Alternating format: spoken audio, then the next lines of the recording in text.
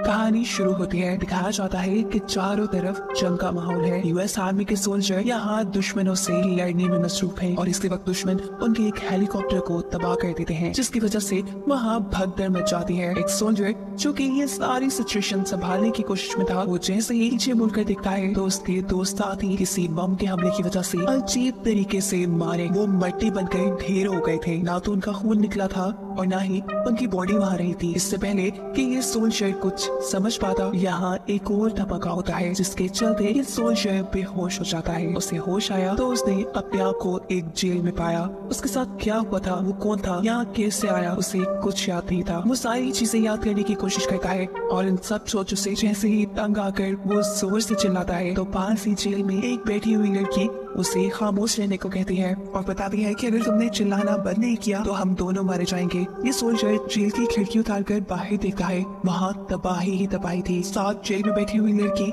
इस army soldier को अपना नाम नादिया बताती है और कहती है कि ये तबाही हमारी दुनिया में हमला करने वाले रोबोटिक एलियंस ने की है। और अगर तुमने शोर करना बंद नहीं किया तो वो हमें ढूंढ कर यहाँ आकर हमें मार देंगे। इस जगह हमें यहाँ के लोकल गैंग ने बंदी बना कर रखा हुआ है। उनकी इन्हीं बातों के दौरान यहाँ पर गैंगस्टर्स भी आ जाते हैं। ईरान तौर पर इस सोल्जर को गैंगस्टर्स की लैंग्वेज समझ आ रही थी। वो इनसे डील करने की कोशिश करता है। लेकिन ये गैंगस्टर्स तो उन्हें मारने पे तुले थे। ऐसे सोल्जर्स और इन गैंगस्टर्स के दरमियान में लड़ाई हो जाती है और एक गैंगस्टर से लड़ते लड़ते ये सोच जो है वहाँ बनी। एक खिड़की से बाहर गिर जाता है, जबकि दूसरे गैंगस्टर्स यहाँ पर नादिया की जेल में जाकर नादिया से बदतमीजी करने की कोशिश करते हैं। लेकिन नादिया वक्त रहते ही इन गैंगस्टर्स की गन छीन कर इन दोनों को ही चकमा देते हुए जान से मार देती है और यहाँ से आज़ाद हो जाती है। पता चलता है कि वो एक आर्मी डॉक्टर है, इसीलिए वो इस बुरी सिचुएशन से निमट पाई। यहाँ से बाहर सोल्जर जो अभी तक गैंगस्टर से लड़ रहा था, वो अब उसी की गन लेकर उसी को मार देता है। ये गैंगस्टर्स का लीडर था। इस सोल्जर ने गैंगस्टर्स के लीडर को मार दिया था। ये देखकर पीछे से दूसरा गैंगस्टर जब अपनी इलेक्ट्रिक डिवाइस से सोल्जर पर हमला करने की कोशिश करता है। तो हैरान कन तौर पर सोल्जर को करंट लगने के बजाय जिस आदमी के हाथ में वो डिवाइस थी, उसी को करंट लगकर वो मारा जाता है। सोल्जर हैरान था, उसे समझ नहीं आई कि ये सब क्या हो गया। अचानक वो दिखता है कि वहाँ भगदड़ सी मची हुई है। लोग इधर उधर भाग रहे हैं, क्योंकि सामने से एलियन आ रहा था। वही रोबोटिक एलियन जिन्होंने ज़मीन पे हमला किया था और ये सोल्जर पहली बार तबाह इस एलियन को देखता है। वो भी इस एलियन से बचकर एक कार के पीछे छुप जाता है, लेकिन हैरान कुन तौर पे ये एलियन उसे स्कैन करके उसे बिना नुकसान पहुँचाए यहाँ से जा चुका है। खतरा डलने के बाद फ़ौरन सोल्जर नादे को बचाने के लिए इस पुलिस स्टेशन वाली बिल्डिंग में आता है, जहाँ पर गैंगस्टर्स ने उन्हें बंदी बना के रखा था। तो दिखता है कि नादिया ने अपने आप को आज़ाद करवा लिया है। नादिया यहाँ उससे उसका नाम पूछती है, लेकिन सोल्जर को तो कुछ याद नहीं। नादिया अब उसके यूनिफॉर्म पे उसका नाम देखने की कोशिश करती है, जो नाम आधा फट चुका था। वहाँ सिर्फ़ दो ही लफ्ज लिखे थे, बो। नादिया कहती है, आज से तुम्हारा नाम बो है। ये सोल्जर अब नादिया से कहता है की हम लोग अमेरिकन बेस चलेंगे। लेकिन नादिया कहती है, वहाँ जाने का कोई फ़ायदा नहीं। अब तक तो वहाँ सब तबाह हो गया होगा? लेकिन जब ये सोच बाहर जाने की जिद करता है तो ना चाहते हुए भी नादिया को उसका साथ देना पड़ता है। ये लोग यहाँ करी एक कार का इस्तेमाल करते हुए आगे बढ़ते हैं, लेकिन रास्ते में ही कोई उनके ऊपर हमला कर देता है। उनकी कार का एक्सीडेंट होकर वो एक तरफ़ गिर जाती है। पता चलता है कि हमला करने वाले कीनिया के सोल्जर्स थे, जो बो को देखकर उसे मारना चाहते थे, क्योंकि वो एक यूएस मिलिट्री का सोल्जर था और कीनिया को लगता था कि इस दुनिया में ड्रोन्स के आने की वजह सिर्फ़ यूएस मिलिट्री ही है, क्योंकि उनकी ही हज़ारों सेटेलाइट आसमान में है। उनके ही ड्रोन और यूएस मिलिट्री बेस पे लगाए हुए बहुत सारे एंटीनास इन सारी चीज़ों को कंट्रोल कर रहे हैं, जबकि बाकी पूरी दुनिया का हर तरह का कनेक्शन कट गया है। इससे पहले की कीनिया के सोल्जर उन्हें मार देते या जो कीनिया का सोल्जर यूएस सोल्जर के करीब खड़ा था, वो उसे अपने काबू में कर लेता है। वो उसी के हाथ में पकड़ी हुई गन का कंट्रोल अपने पास लेते हुए उसके दो साथियों को मारकर उसको बंदी बना लेता है।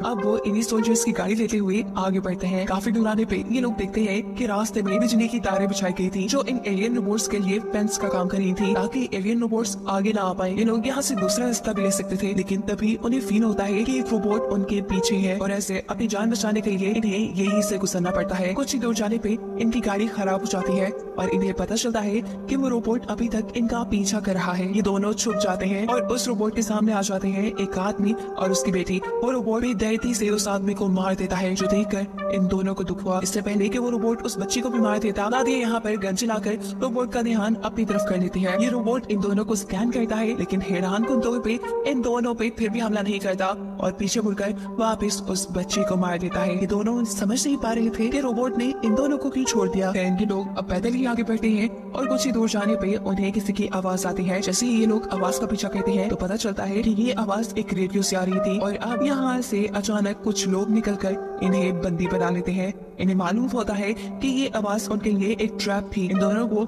यहाँ किसी चीज़ के साथ बाँध दिया जाता है और फिर अचानक ही दो बाइकर्स इनके करीब से गुजरते हैं और बाइकर्स के पीछे पीछे यहाँ वो रोबोट भी आने लगा था जो पहले से ही वो का पीछा कर रहा था। वो समझ आता है की इन लोगों ने एलियन को यहाँ तक बुलाने के लिए उनका चारे के तौर पर इस्तेमाल किया है। जैसे ही एलियन यहाँ आता है, ये लोग मिलकर उसके ऊपर हमला कर देते हैं। एक आदमी उसके ऊपर जंजीर फेंकता है, जबकि पीछे से दूसरा आदमी उसको शूट करके मारने की कोशिश करता है। ये रोबोट तो यहाँ गिर जाता है, लेकिन इससे फ़ायदा नहीं हुआ क्योंकि दो रोबोट यहाँ और आ चुके थे। और इनको डिस्ट्रैक्ट करने के लिए बाइकर जल्दी से निकलते हुए यहाँ से दूसरी तरफ़ भागते हैं। रोबोट भी बाइकर्स का पीछा करते करते यहाँ से दूर चले जाते हैं और मौके का फ़ायदा उठाते हुए यहाँ वो और नादिया दोनों अपने आप को छुड़वा कर भाग चुके थे। वो अब पैदल ही सफ़र कर रहे थे। आगे चलते चलते इन्हें एक कार मिलती है जिसमें बैठकर ये लोग आगे का सफ़र तय करते हैं। अचानक करीब ही उन्हें कुछ अजीबो गरीब आवाज़ें आती है। उतर कर ये देखते हैं की वहाँ एक एलियन मरा हुआ था। इसके सामने ज़ोर से धमाका होता है। ये लोग देखते हैं कि काफ़ी सारे एलियंस इन्हीं की तरफ़ बढ़ रहे थे। अपनी जान बचाने के लिए ये जल्दी से वापस कार में बैठते हैं और आगे की तरफ़ भाग जाते हैं। एलियंस इन्हीं का पीछा कर रहे थे। जिनसे बचने के लिए ये लोग करीब ही एक घर को देखकर उसकी बेसमेंट में अपनी जान बचाने के लिए छुप जाते हैं और इसी दौरान यहाँ पर एक बहुत बुरा तूफ़ान आ जाता है। इस तूफ़ान ने उनके ऊपर से पूरा घर तोड़ दिया था। पता चलता है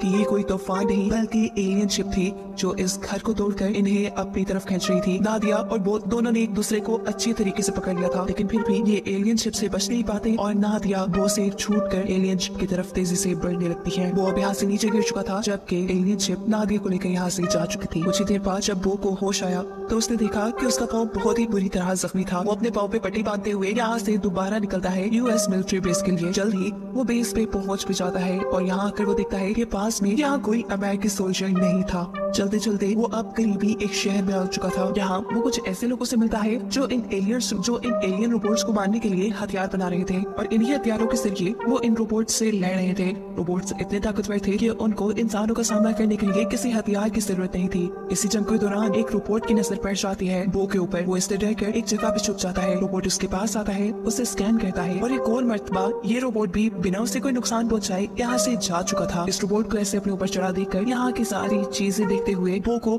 बहुत कुछ याद आने लगा था। उसे उसका पास्ट याद आ रहा था। ज़्यादा सोचने की वजह से उसका दिमाग थक कर वो बेहोश हो जाता है।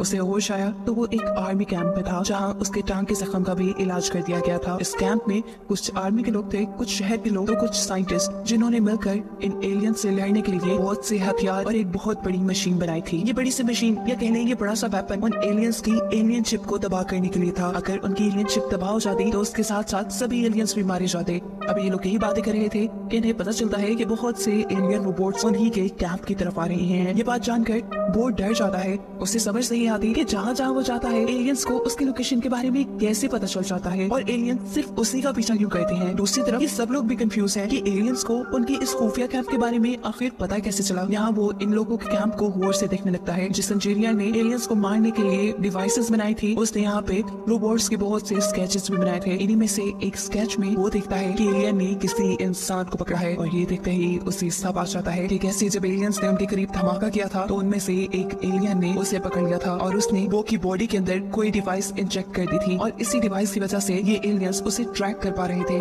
और इसीलिए रोबोट्स उस पर हमला भी नहीं कर रहे। और इस वक्त भी वो की वजह से ही रोबोट्स को उनकी लोकेशन का पता चला था। वो बिना किसी चलाकी के ये सारी बात उनको बता देता है। डिटेल्स बताते हुए वो कहता है एलियन शिप मुझे ट्रैक करती है। जहाँ जहाँ मैं चाहता हूँ, वो वही वही आ जाते हैं, क्योंकि उनको लगता है कि वहाँ पर इंसान हो सकते हैं और ये इंसानों को मार रहे हैं। इनकी बात सुनने के बाद इस कैंप के लोग वो को ही मारना चाहते थे। इससे पहले की वो वो को मार देते? वो कहता है, रुको, मुझे नहीं मारो। मैं तुम्हारी बहुत काम आ सकता हूँ। देखो, मैं जहाँ चाहूँगा एलियन मेरे पीछे आएँगे। वो भी अपनी एलियन शिप लेकर। अब इससे बेहतर कि तुम लोग अपनी इतनी बड़ी मशीन को लेकर एलियन शिप का पीछा करो। इससे बेहतर है कि तुम इस एलियन मशीन को मेरे साथ लेकर चलो। जैसे ही वो मुझे ट्रैक करते हुए मेरे तक आएँगे, हम सब मिलकर इस बड़ी सी मशीन से एलियन शिप पर हमला कर देंगे और ऐसे एलियंस का काम तमाम हो जाएगा। वो का आइडिया सभी को पसंद आया था, इसलिए ये मशीन लेकर एक टनल के ज़रिए बाहर निकलती है। बाहर निकलते हुए देखते हैं कि एलियन शिप अब एक ऐसी जगह पे जा रहा था जहाँ बहुत से लोग थे। ये जल्द से जल्द उस एलियन शिप के पास पहुँचना चाहते थे और ये शॉर्टकट लेने के लिए एक और पतले सी टनल के अंदर चले जाते हैं। बदकिस्मती से एलियंस भी उनके पीछे आ चुके थे, जो पहले इनके दो साथियों को मारकर एक तीसरी साथी को जख्मी कर देते हैं। अपने बाकी साथियों को एलियन से बचाने के लिए इनके ग्रुप का लीडर अपनी उस बड़ी सी मशीन से दो एलियंस को तो मार देता है, लेकिन दिखता है कि एलियन की पूरी फौज अब उन्हीं के पीछे आ रही थी। इनकी वो साथी जो जख्मी थी, वो इनसे कहती है कि तुम सब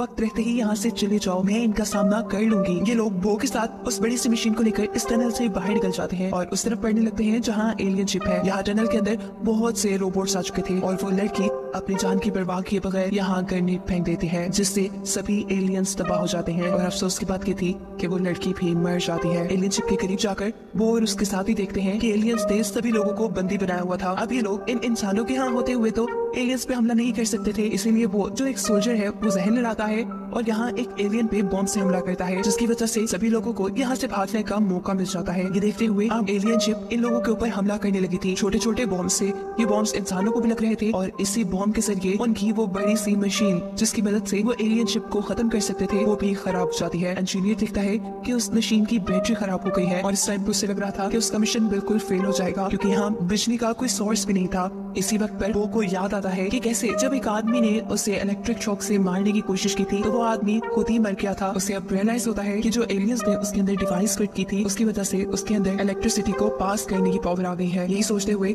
वो जल्दी से इंसानों की बनाई मशीन के पास जाता है। उसी मशीन के पास एक रोबोट था वो रोबोट के ऊपर हाथ रख देता है। रोबोट का तेज करंट बो को लगता है, लेकिन वो इस सारे दर्द को बर्दाश्त करते हुए अपने दूसरे हाथ से उस मशीन को एनर्जी देता है। एनर्जी के मिलते ही ये मशीन एक्टिवेट हो जाती है। इसके अंदर से बहुत सी एनर्जी बाहर निकलती है, जो ऊपर जाकर एलियन शिप को तबाह कर देती है। वो ने सारा दर्द सहते हुए एलियंस की एनर्जी को इस्तेमाल करते हुए एलियन शिप को तबाह कर दिया था। इस शिप के तबाह होते ही यहाँ सभी रोबोट्स का भी खात्मा हो गया था। वो की वजह से ही ये लोग एलियंस को हराने में कामयाब हो पाए थे। सभी मिलकर अपनी जीत का जश्न मनाते हैं, जिसके साथ ये कहानी यही खत्म हो जाती है।